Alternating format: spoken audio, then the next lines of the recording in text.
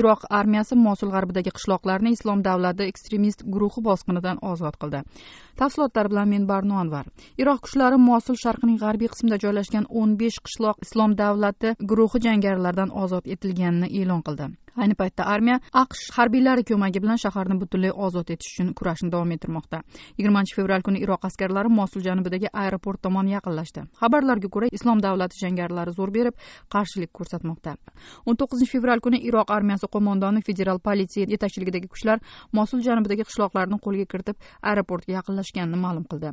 Iroq ichki ishlar vazirligining tezkor amaliyotlar bo'limi xodimi abbos al juburiy amaliyotimizni ertalabki soat yettida boshladik biz aeroport tomon boryapmiz qilyapmiz deb ma'lum qildi.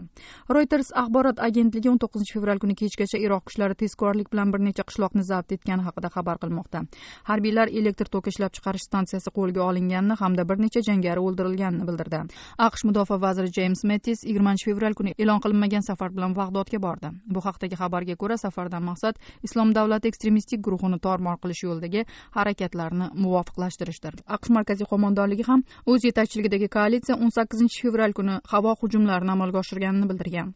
Aqshning maxsus kuchlari ayrim iroq qo'shinlariga bevosita yordam bermoqda. Bundan tashqari amerikalik askarlar iroq kuchlariga moddiy va texnik yordam ko'rsatmoqda. O'n to'qqizinchi fevral kuni aqsh mudofaa vaziri jeyms mettis the us forces continue in the same role that they were in in east mosul.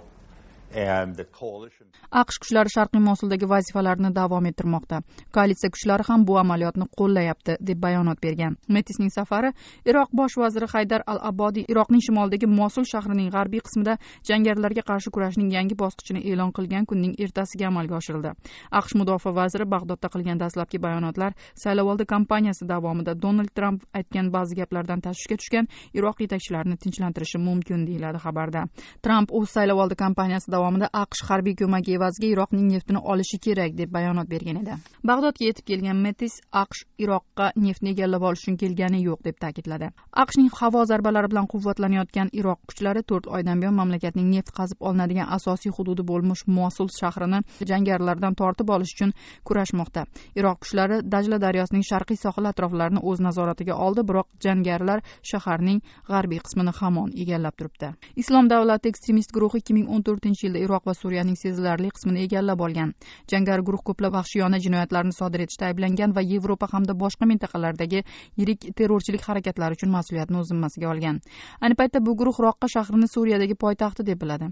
Bu shahar ham ayni paytda aqsh vositachiligidagi kuchlarning qurshovida qolmoqda. Ularning qurshovida